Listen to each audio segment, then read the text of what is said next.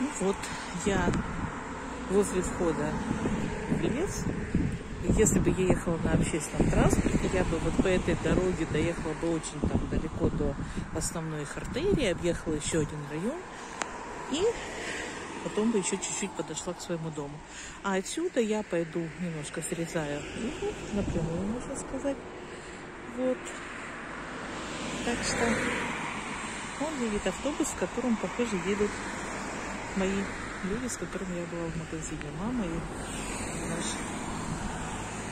скажем так, сосед. Вот так что все, я ныряю в лес.